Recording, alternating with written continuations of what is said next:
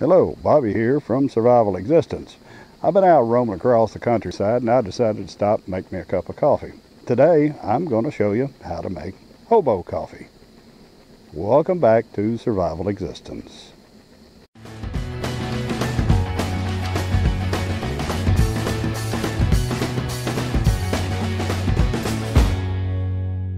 Well, we've just come through about three weeks of below freezing weather and uh, seldom during the day getting out of the teens and predominantly at night getting in the single digits and all the way down to two degrees. As you can see, the lake out here is completely frozen over.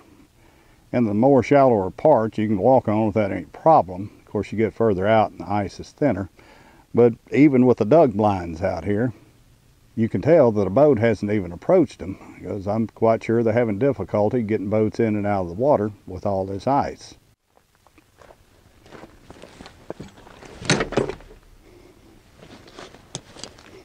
This is my get home bag. I almost always have it with me. I have a couple of bottles of water with me. And uh, carry a little coffee and of course my little stove I always carry with me. Of course, a cup.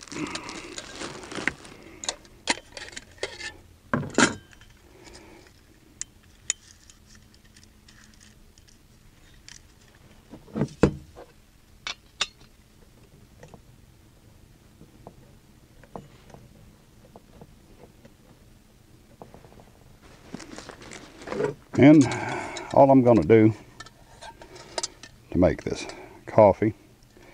It's hobo coffee. Matter of fact, I learned this from my grandfather. He uh, hoboed a little bit during the Depression. You can make coffee without it having to go through a filter. Of course, uh, having a filter is nice, and I have some here. I'm not going to fool with them. But, uh, it's not that difficult to make your coffee. Without any kind of grounds or without uh, a filter to filter the grounds out. I'm going to start this uh, stove, get it going.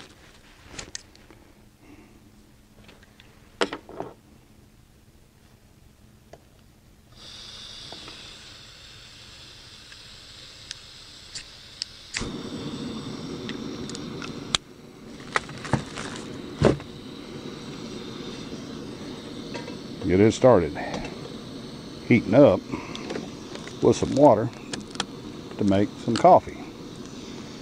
All I'm going to do is add water to my cup, let it heat up.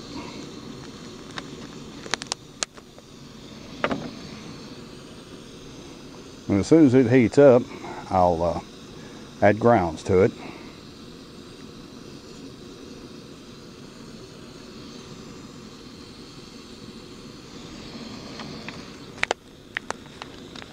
I need to reserve a little bit of uh, the cool water. So I'm going to pour some of it back in the bottle and I'll show you what it's used for as soon as the coffee is finished brewing.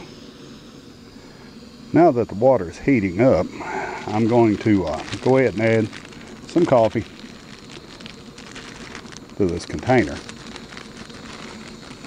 It's starting to get hot enough that uh, it can't brew.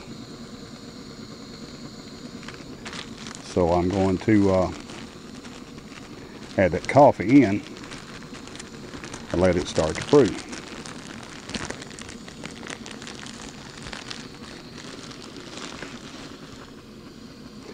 As you can begin to see, I'm quite sure that the uh, water is just starting to boil a little bit.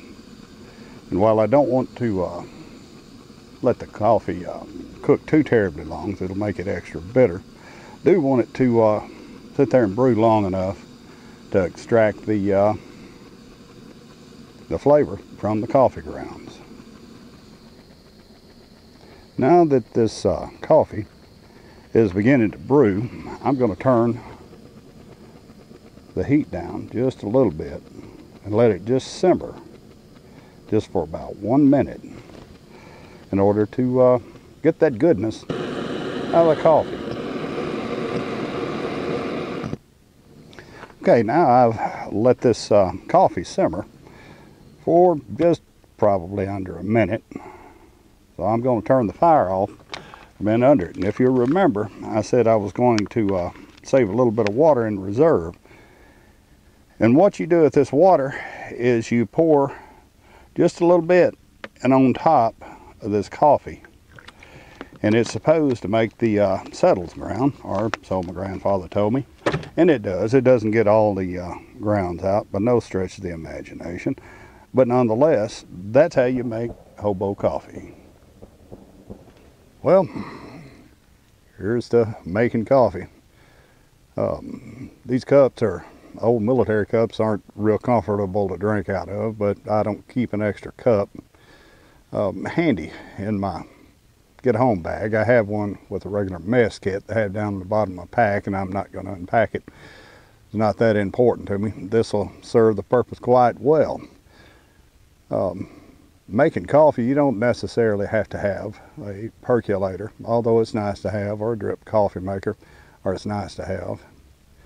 But nonetheless, you can still make coffee. Doesn't matter with your uh, items in your uh, get home bag.